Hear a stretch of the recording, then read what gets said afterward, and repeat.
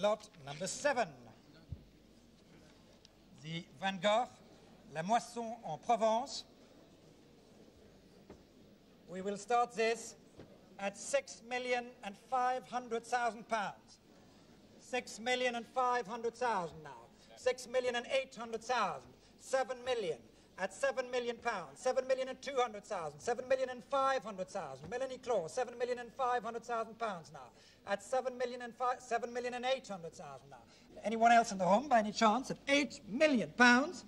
All done. At eight million, I shall sell it for eight million pounds now. Last chance at eight million. Your bid, DD. All done. Sold. Thank you very much. And you have a paddle?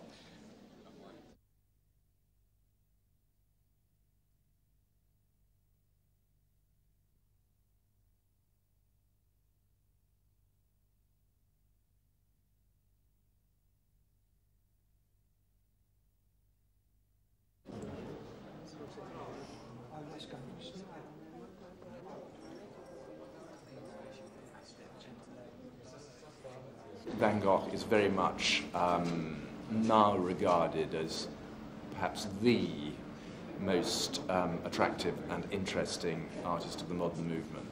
He was a great uh, romantic, tortured soul, and he was uh, um, the classic figure of uh, the artist who never sold anything in his own lifetime, but who came to be understood and appreciated afterwards and who now makes enormous sums, but as I say, never sold anything in his own lifetime.